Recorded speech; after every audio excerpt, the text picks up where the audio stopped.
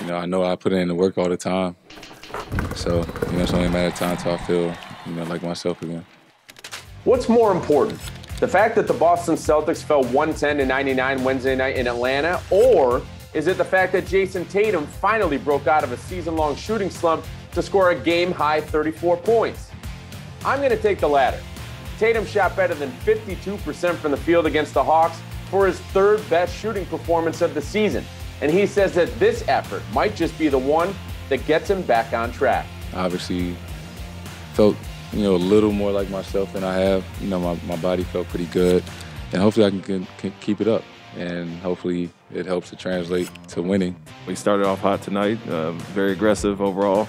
So we're not really worried about that. Um, it's just a matter of feeding him and keeping him aggressive when he gets in that in that mode.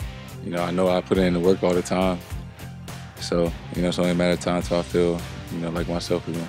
Tatum and the Celtics are heading back to Boston to play host to the LA Lakers Friday night on rivalry night at TD Garden. Now, it sounds like the Lakers, who are just 8 and 8 on the season, might be getting LeBron James back into the lineup for that game.